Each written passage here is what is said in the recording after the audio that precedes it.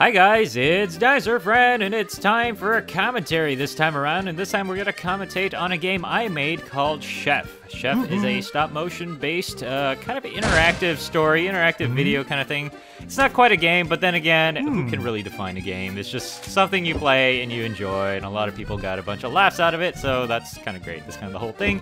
But uh, basically, what Chef is, is it's kind of like a little cooking game. You can kind of like hmm. cook what you want and kind of do whatever you want.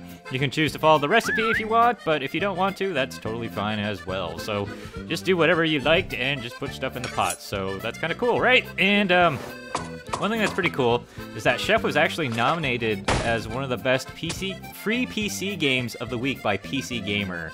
And I thought that was pretty neat because when I found that out, I was like, oh man, like I just made this over like two weeks and it was a lot of fun. I didn't expect that to happen. Uh, so that was really cool and a lot of people are actually doing a lot of Let's Plays on it. I'm really, really happy about that. So those of you who are making Let's Play on it, thanks a lot for all the publicity and stuff. So anyways, uh, more about the game. I spent about two weeks filming for this. It was quite a bit. I think the frames, the total frames of this was somewhere around 3,000. If those of you who are unfamiliar with stop motion, you actually have to take a picture and then move the little clay figure a little bit, take another picture, move a little bit. So it was about 3,000 pictures for maybe a um, four minute claymation thing, and then it's kind of just like interspliced through an HTML5 layout. It's pretty neat, pretty neat. Initially, I wanted a lot more things, like a whole thing with a waiter and all, but uh, yeah, this is this is all it came down to. But it was still pretty entertaining. There's a lot of uh, different things you can do with this game, and there's actually um, quite a few different outcomes as well. So those of you who want to play through this game, uh, look forward to the different outcomes. This is just one of the outcomes. I'm not going to show all of them,